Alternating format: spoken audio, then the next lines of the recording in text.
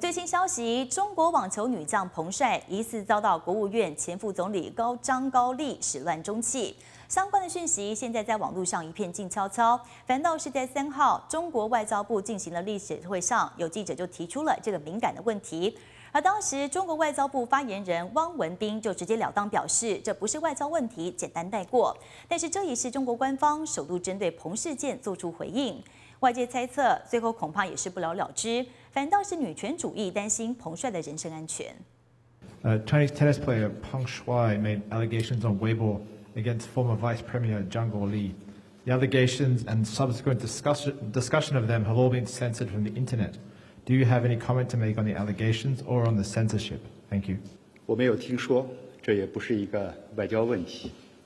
下一个问题，只花不到五秒钟回答了记者的提问。中国网球女将彭帅在微博惊爆自己曾跟大她四十岁的中国前副总理张高丽发生性关系，在国际间讨论的沸沸扬扬。官方低调再低调，张高丽本人并未做出任何回应。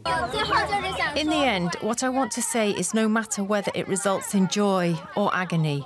I'm very honoured to have gone through this together with everyone. 中国央视前实习生周小璇三年前站出来指控有大陆政协委员身份的央视知名男主持人朱军性骚扰，最后遭到法院以证据不足驳回诉讼。陆媒更是只字未提，全力淡化事件。Chris Wu now he's he's Canadian but will remain in Beijing in jail. 加拿大籍华裔歌手吴亦凡被多名年轻女子指控性侵。遭到北京警方羁押，电商阿里巴巴一名高层遭女员工指控性侵，结果遭到公司解雇。这些名流富豪的丑闻都在网络上引起广泛讨论，但牵涉到高官权贵的案件却明显出现双标。女权主义者担心彭帅爆料后会不会惹来麻烦。